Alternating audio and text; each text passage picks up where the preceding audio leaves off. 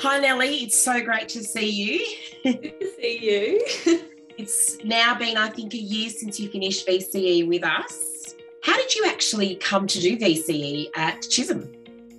Um, actually, my mum had looked into it for my older brother because uh, he had done the year 10 equivalent at Chisholm. And I never was a big, big fan of high school. I was never a big fan of school in general. And so my mum was just always like, hey, if you ever need it, this option is available. Like, not saying you will, but it's here. Um, mm. always keep that in mind. And I always did. And then eventually I just took advantage of it. And how did you find um, when you first wanted to find out about information or get in touch with us? Did you find it quite easy dealing with the department? Yeah, it was really, it was actually really, really easy um like i am just generally a very stressed out person all of the time. So you know trying to go from that transition from like high school to chisholm was very stressful. Um and so getting in touch with people like getting in touch with like the coordinators and everything was like really really easy. Um basically would respond to emails like super quickly answered my million and six questions that i had mm-hmm. like um like am I going to fail? How am I going to transfer my units? Like all of this sort of stuff. And they were just super onto it. Um, so yeah, it was actually really, really easy and just made the process super simple. When you started your course and you spent two years with us completing your VCE, what were some of the differences that you noticed or the things that you really enjoyed during your two years? Um, the structure was like obviously the biggest thing. Like you go from high school, which is nine to three every single day, five days a week. Um, but then at Chisholm, it's like your classes are like three half, three and a half hours to four hours a day, and you do each class once a week. And that just made it so much easier because like I wasn't going from class to class and like it gave me I wasn't at school all day every day and then coming home and doing homework and all of that sort of stuff. So gave me a lot more freedom to sort of do like what I wanted to do around VCE.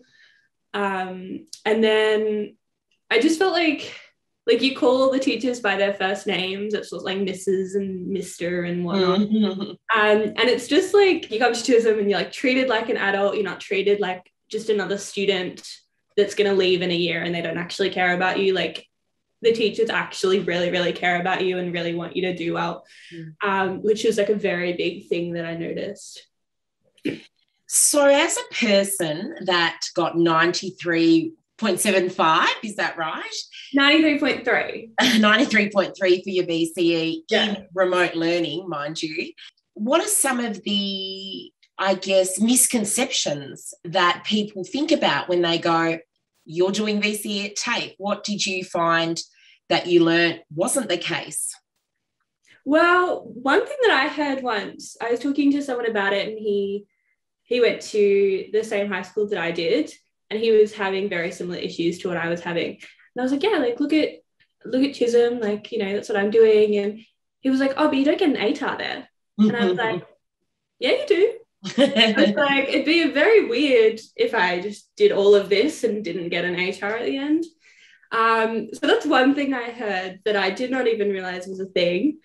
Um, but when I actually was like going to leave, the um, the careers coordinator at my high school um, had a chat with me, and he was like, "Look, you know, TAFE, they just don't get as good as scores. Like, blah blah blah blah blah. And i was like that doesn't matter.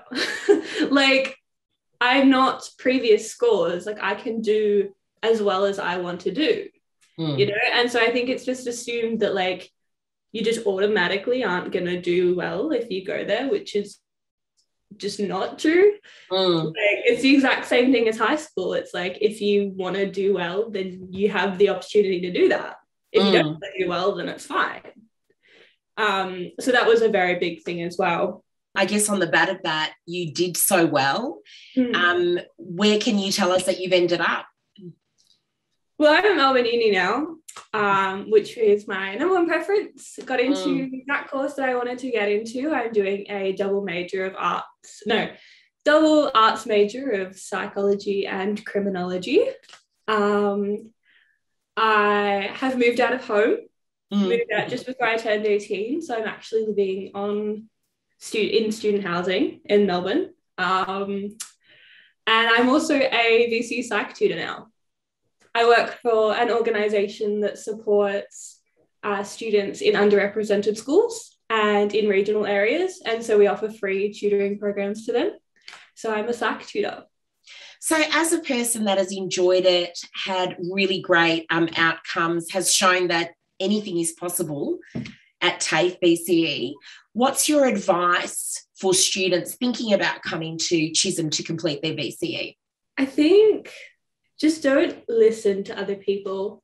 Like, no matter what you do in life, there's always going to be someone that tells you, that gives you like a million reasons to not do it. Mm. And at the end of the day, like, you're the only person that can decide what's best for you. I left high school for my mental health um, mm. And to do what worked best for me. And it, like, was the best decision I ever made. I don't know where I would have ended up if I had have kept going through the high school system. Mm. I think just giving it a shot, just not listening to what other people are going to tell you, um, not like giving into criticisms and all of that sort of thing. Like, just again, as I said, like you are not anyone else's previous scores. Like, you are yourself and you can do as well as you want to do, mm. um, especially at TAFE. And you'll be like, you'll be treated as a human being and as an adult. Mm. And you have those opportunities to do super well. So just take advantage of it, honestly. And Nellie, you are a great example of the success that is possible and that anything is possible coming to Chisholm and completing your VCE here. Thank you.